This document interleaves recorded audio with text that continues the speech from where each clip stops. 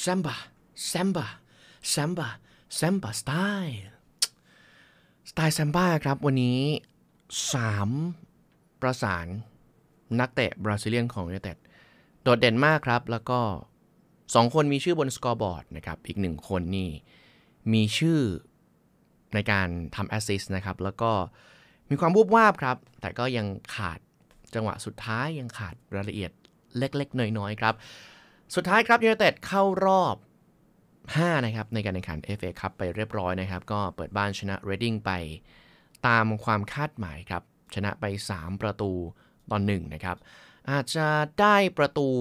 แรกช้าหน่อยครับ ก็คือในช่วงครึ่งเวลาหลัง แต่ว่าสุดท้ายก็ปิดจ็อบทำได้ตามเป้านะครับ เกมนี้ละเป็นยังไงบ้างครับ จัดทีมอย่างไรเอริกเทนฮาก rotation แบบ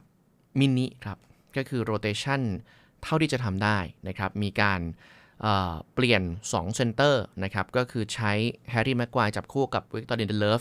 นะครับลินเดเลิฟยืนซ้ายแล้วก็แม็กไกวร์ยืนขวานะครับ แล้วก็แบ็กซ้ายนะครับ ก็ยังคงเป็นไทเรลมาลาเซีย ลุคชอว์ยังคงไม่มีชื่อนะครับ เพราะว่าเกมที่แล้วที่เจอกับฟอเรสต์ในลีกคัพเนี่ยก็มีอาการป่วยนะครับ เกมนี้ก็เป็นมาลาเซียนะครับ ลงสนามต่อ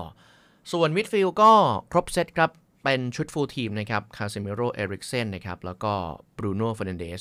แล้วก็ด้านบนนะครับ ก็เป็นแรชฟอร์ด เวกฮอร์สต์นะครับ แล้วก็แอนโทนี ก็เท่ากับว่านี่คือชุด full team เปลี่ยนแค่คู่เซนเตอร์นะครับ ในช่วงครึ่งแรกเนี่ยยูไนเต็ดก็แน่นอนครับ เล่นในบ้านด้วยนะครับ แล้วก็ด้วยตัวผู้เล่นที่จัดมาเหนือกว่าอยู่แล้วนะครับ คุณภาพผู้เล่นเอ่ยแท็กติกของเทนฮากเอ่ยก็เลยทำให้กดเขาแทบจะตลอด นะครับ แต่ว่าแค่ยังจบสกอร์ไม่ได้นะครับ มีโอกาสที่ใกล้เคียงที่สุดเลยก็คือ จังหวะที่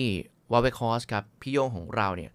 โหม่งตั้งมานะครับ ให้แรชฟอร์ดจบสกอร์นะครับ แต่ว่าก็โดน VARจับล้ำหน้าไปนะครับ ซึ่งจังหวะล้ำหน้าก็มาจากจังหวะที่เซตกันขึ้นมาแล้วก็เวกคอสเนี่ยไปออฟไซด์ซะก่อนนะครับ ก็น่าเสียดายคือเรดดิ้งมาเนี่ยก็ต้องรับต่ำอยู่แล้วนะครับ ด้วยการมาเยือนนะครับ ด้วยการเป็นทีมที่ คุณภาพต่างๆ เป็นรองนะครับ พวกเขาก็ต้องว่าตามตรงก็คือเจียมตัวนะครับ แล้วก็รับให้ได้ลึกที่สุด ครึ่งแรกก็สามารถยันสกอร์0ูนย์เอาไว้ได้นะครับ แต่ทีนี้เนี่ยจุดที่ผมชอบนะในส่วนของแท็กติกวันนี้เนี่ยนะครับ เอาแบบโดยรวมก่อนนะยังไม่ได้เจาะใช้พงใช้ภาพประกอบอะไรเนี่ย คือยูไนเต็ดถ่างสนามออกได้กว้างหมดครับ ใช้พื้นที่สนามได้เต็มนะครับแอนโทนีถ่างอยู่ขวาสุดนะครับ ฝั่งซ้ายเองก็มีแรชฟอร์ดมีมาลาเซียคอยเติม บางจังหวะบรูโน่ก็ถ่างไปเล่นด้านซ้าย คือ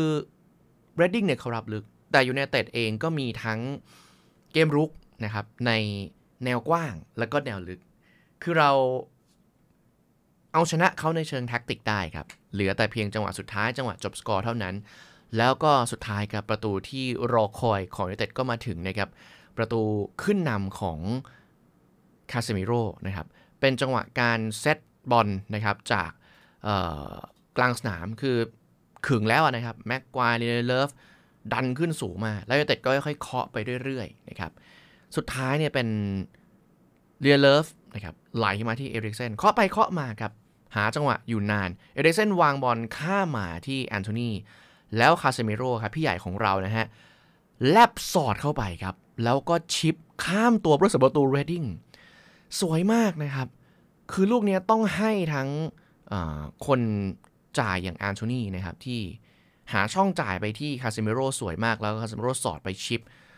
มีแฟนบอลบางคนบอกว่า โอ้โห ยังกับกองหน้านะครับ สวยมากแล้วก็ยูไนเต็ดนำเป็น2อ๋อ1 0ครับ1ประตูต่อศูนย์จากคาเซมิโร่ก่อนนะครับ แล้วก็หลังจากนั้นไม่นานครับ เพราะว่าประตูแรกกับประตูที่ 2 เนี่ย แทบจะไม่ห่างกันเลยนะครับ ประตูแรกเนี่ยนะครับยูไนเต็ดได้นาที 54 หลังจากนั้นนะครับเอริกเซ่นก็มีปัญหาอาการบาดเจ็บนะครับเฟร็ดลงมาแทน แล้วก็คาเซมิโร่นะครับบวกประตูที่ 2 ได้อีกแล้วโอ้รอบนี้สวยกว่าเดิมอีกนะครับเป็นจังหวะยิงไกลบ้างนะครับอย่างที่เราคุยกันไปก็คือยูไนเต็ดถ่างสนามออกได้หมดเลยครับนะครับ แนวกว้างแนวลึกคือครองเกมบุกได้หมด แล้วสุดท้ายนะครับ ก็เป็นจังหวะที่บรูโน่เฟร์นานเดสนะครับเหมือนจะเปิดเข้าไปจากด้านซ้าย แล้วสุดท้ายไหลมาให้เฟร็ดเฟร็ดให้แอนโทนีนะครับปั่นโค้งจากนอกกรอบเขตโทษ บอลอย่างสวยเลยครับ แล้วสุดท้ายเนี่ยบอลก็ไปแฉลบทอมแม็กอินไทร์นะครับ ซึ่งเป็นผู้เล่นเซนเตอร์ของเรดดิ้งช่วยให้ยูไนเต็ดนำเป็น 2 ประตูต่อศูนย์นะครับ ก็ ได้ประตูเร็ว 2 ลูก แล้วก็เป็นคาเซมิโร่ยิงทั้ง 2 ลูกแบบนี้คือ ว่าตามตรงผู้เล่นเรดดิ้งก็มีท้อให้เห็นเหมือนกันนะนะครับ เพราะว่าโดนไปเร็วเลยนะครับ ทุกอย่างมันก็ดู happy ending นะนะครับยูไนเต็ดก็หายห่วงครับ พอได้สกอร์ที่ 2 แล้วก็ทำเกมรุกต่อเนื่องไป บวกกับหลังจากนั้นเนี่ย ทางแอนดี้แคร์โรลล์นะครับ มาโดนเหลืองที่ 2 กลายเป็นแดงคือ แ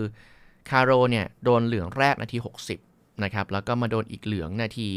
65 ในจังหวะสไลด์ใส่คาเซมิโร่นั่นแหละนะครับผู้ตัดสินก็มีทางเลือกนะครับ ก็แจกใบแดงจากเหลืองที่2นะครับให้กับแอนดี้แคร์โรลล์นะครับทำให้เรดดิ้งเหลือแค่ 10 คนเกมมันก็น่าจะขาดตั้งแต่ตัวนี้ละ แล้วสุดท้ายนะครับประตูที่ 3 ของยูไนเต็ดนะครับก็มาได้จากจังหวะของเฟร็ดนะครับที่ลงเป็นตัวสำรอง เท่ากับว่าวันนี้บราซิล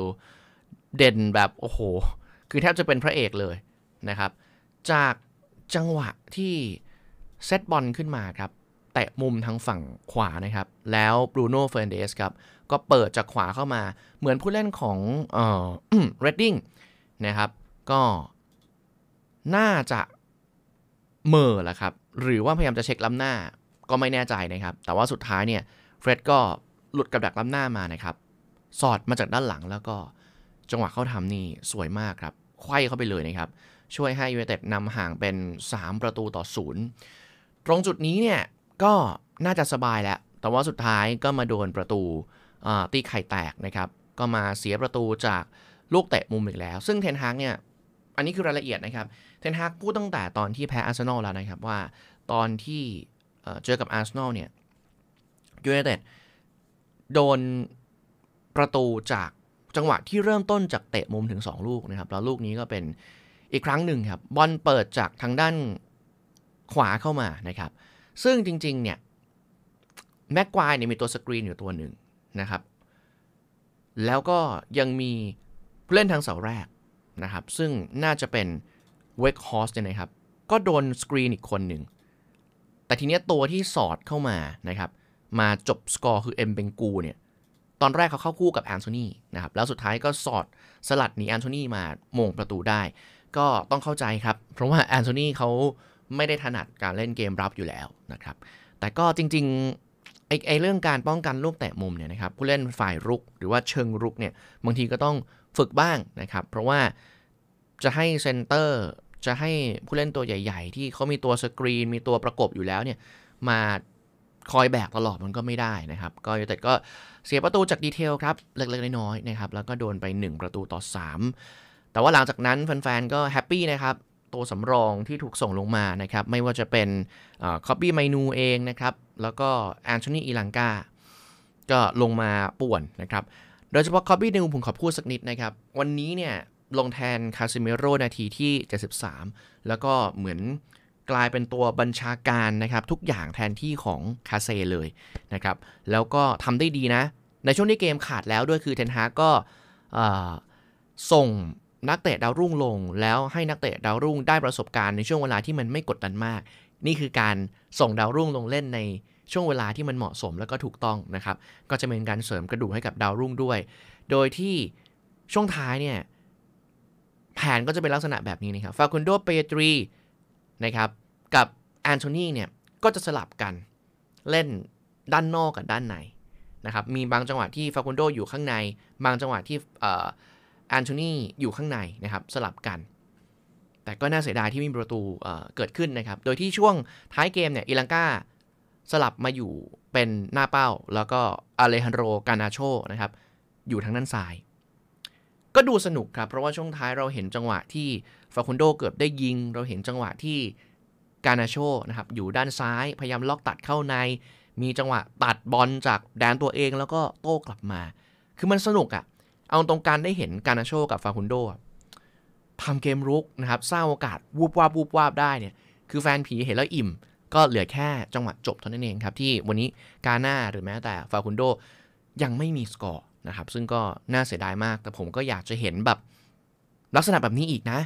นะครับอยากให้ฟาคุนโด้ได้โอกาสลงสนามเยอะๆ วันนี้ฟาคูได้โอกาสลงเล่น 22 นาทีครับ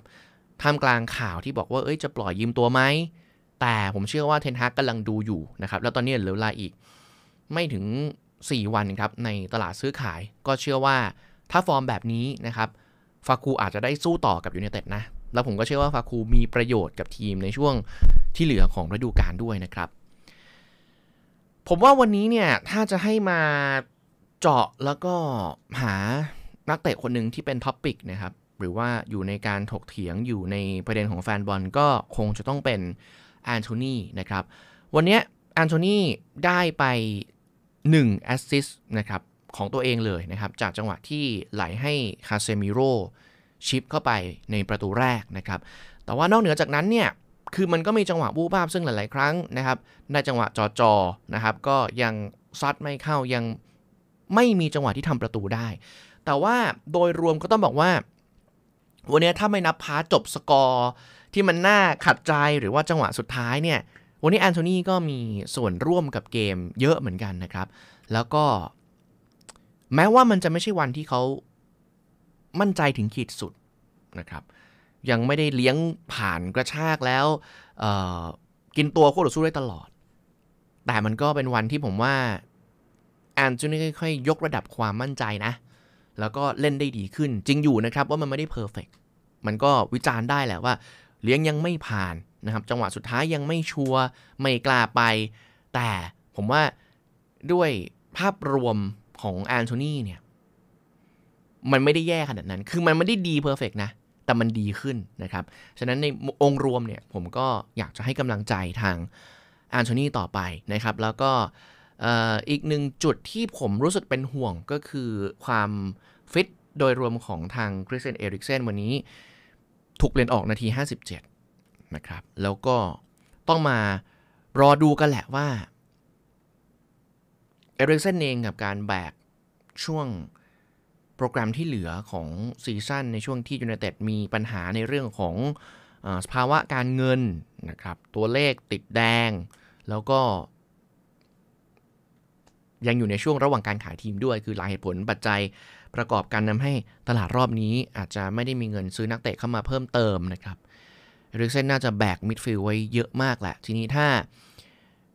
มันต้อง rotation บ้างนะครับ ก็คงต้องฝากความหวังที่เฟร็ดบ้าง คือเฟร็ดเนี่ย ถ้าลงเล่นเป็นกลางตัวที่สูงหน่อย โดยที่มีคาเซมิโรคอยรองให้ตรงกลางเนี่ย คือเฟร็ดก็จะเล่นได้โอเคนะครับ ขอแค่ไม่ใช่กลางตัวต่ำพอเฟร็ดจะยังพอเล่นได้ ฉะนั้นหลาย ๆ เกมก็คงจะต้องไว้ใจพี่เฟร็ดนะครับให้ช่วยนิดนึงนะครับ ในวันที่ต้องพักคริสเตียนเอริกเซนผมอยากให้เอริกเซนได้พักบ้าง จะได้ใช้เอริกเซนไปตลอดทั้ง season อยู่กับพี่คริสเตียนไปตลอด นะครับเรื่อยๆ เพราะว่าก่อนหน้านี้มีสถิติออกมานะครับว่าคริสเตียนเอริกเซนเป็นหนึ่งในนักเตะที่ลงสนามมากที่สุดให้กับยูเนเต็ดคือมันก็เป็นเรื่องที่ดีแหละ แต่เราก็อยากให้คริสเตียนเอริกเซนได้พักบ้างนะครับก็รอผลการจับฉลากต่อไปนะครับ ซึ่งก็น่าจะมีขึ้นนะครับในวันจันทร์นะครับ วันจันทร์ที่ 30 มกราคม จะได้รู้แล้วว่ายูเนเต็ดจะไปเจอกับใครนะครับในรอบที่ 5 แต่ก็เป็นอีกหนึ่งทัวร์นาเมนต์ครับ อีกหนึ่งรายการที่ยูเนเต็ดเข้ารอบต่อไป แล้วก็เท่ากับว่ายูเนเต็ดยังอยู่ในการแข่งขันทุกรายการครับใน season นี้ ก็เทนฮากกับ project กับแนวทางการไปทีละเกมนะครับ การโฟกัสทีละนัดของเขาเนี่ย ก็ยังคงเดินหน้าต่อ เชื่อใน boss เชื่อใน project ของเอริกเทนฮากนะครับ แล้วก็วันนี้ก็ขอมอบคำชมครับให้กับ Triple Connection Samba Connection Brazilian Connection ครับ ไม่ว่าจะเป็นคาเซมิโรพระเอกของเรา พี่ใหญ่ของเราในวันนี้นะครับ รวมถึงเฟร็ดผู้ทำประตูที่ 3 แล้วก็